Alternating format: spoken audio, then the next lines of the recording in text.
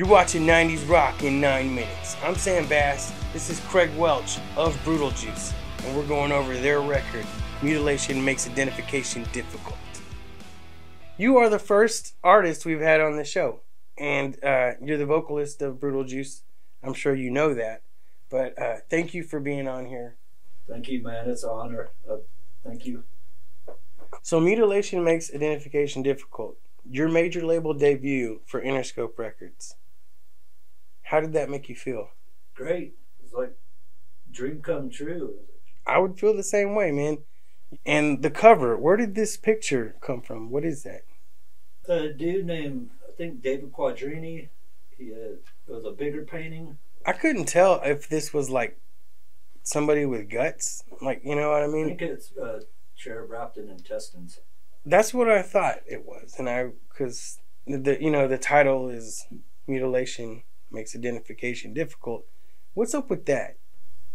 One of the headlines in the papers from, from nearby, you know, small town where we were in South Texas. The was the headline was body found in park mutilation makes identification difficult and I think someone's like oh that's that's a good title for our for this album and so it stuck Nice. Yeah, that's I've never heard an album titled that graphic of a thing, but you live up to it with I here's here's a thing I have noticed about this album and a lot of people have an iconic cover to their album and I feel like this is the only album I've ever seen that has an iconic back to the album. there's two two versions of the bloody toilet Yeah, that's the the the uh I mean I think it was suggested that we change the back of the cover to something easier Yeah, I wanted to get into that. So you, it was suggested that you change the album art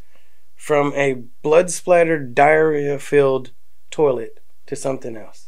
yeah I- Why would I mean that's great. Why would anybody ever want to change that? No, I think it it's like sell more or something. Yeah. I'm not, I'm not sure. As a kid, you'd have been attracted to the toilet. I would have You're like, oh, cool, blood toilet. I'm, I'm Yeah. buying this album. absolutely. I would have been all over that. I would have wanted that to be the front cover. We should have kept that. I know not everybody has that reaction to seeing a diarrhea filled, blood splattered toilet, but um I did. I made a show, Homeless in Denton, which I know that you know about because you your band was on it. Your other band, uh, Fabulous Badasses. So this was right up my alley. Actually, I think we in the show we had a, a shot of a diarrhea-filled toilet as well. So we were we were meant to collaborate. Indeed, indeed. All right, I'm gonna just Oh, there's a see. It's uh, yeah. That's the thing about I this didn't album. know that it appeared twice. that's the thing about this album is like just in case you were wondering whether or not this was just sort of something thrown on the back of the album you know in a in a moment of god knows what they were thinking Well, it's, it's fake. It's not. It's not real blood, and it's not real other stuff. you guys faked this i thought man you guys are posers i thought this was real man you did a music video for what song what was the single Uh, Ugly on the inside. We did the video for. It was originally called the Vaginals. yeah that's it right appears on here. Yeah, and I see that the the, the uh, promo sticker for what singles are on there. It's called the Vaginals.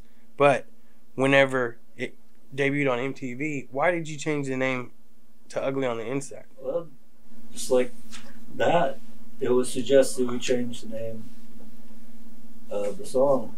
So they wanted to take out the diarrhea bloody toilet and change the name from the Vaginals and like tone it dial it down a little bit to guess. And I find what's interesting about that is it seemed like, from what you're telling me and what I'm seeing, is they when they wanted you to dial it down a little bit. But here, as a fan, like you know, I was a, right around your target audience, or, your, or not that you had a target audience, but a teenager in the '90s.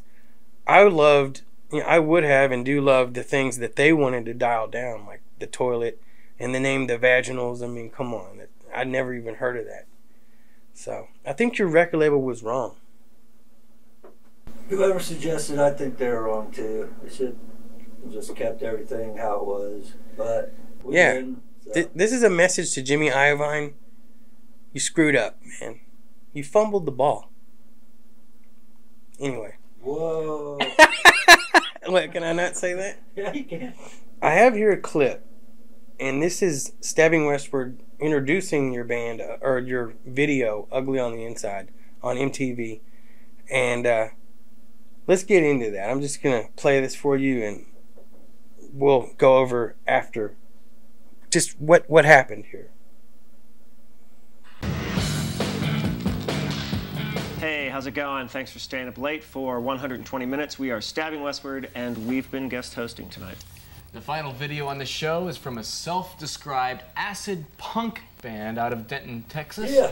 They're called Brutal Juice. Their major label debut album is called Mutilation Makes Identification Difficult. That's pleasant. And here's the first video off of it. It's called ugly on the Inside.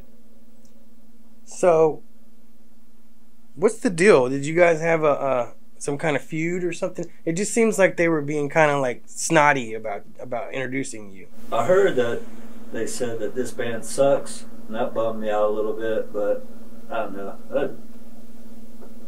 I, I never heard a Stabbing Westward song, so So you never even heard a Stabbing Westward song. no, I haven't. And so I can't say they suck or don't suck. Well, that's a very So- you're taking a very mature approach. If somebody was talking about my band, they were like, "Acid punk rock, man," I'd be like, "You know what? You're an industrial rock wannabe rip off of Nine Inch Nails on MTV." Whoa! Did you know that Brutal Juice is thanked in this album? I did not know that.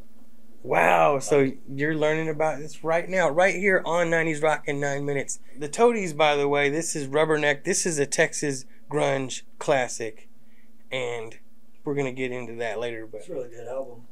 I love it. I love this album too, and yeah, right there, there's Brutal Juice. I'll check that out. So, and this is now the reason why you were thanked, if didn't know that. if I'm not mistaken, you went on tour with them, didn't you? Yeah, I was.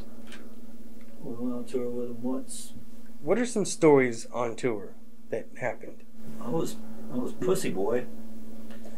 You were Pussy Boy. Yeah. Uh, Lisa got me a pins undergarment. Lisa Umberger. Yes, right? Lisa Umberg The bass player. me a pins undergarment and drew a cat on the crotch area, and I put it on. I was like, oh.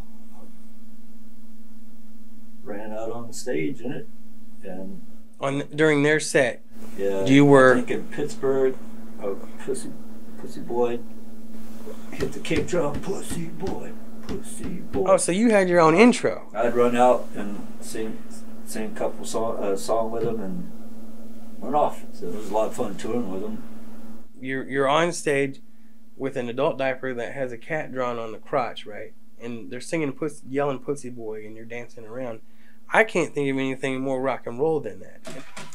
While we're on the subject of the Toadies, there's something really really cool that you were able to do.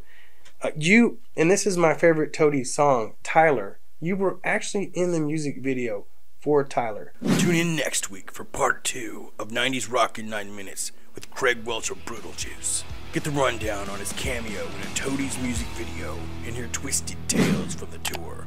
Be sure to comment, like, and subscribe.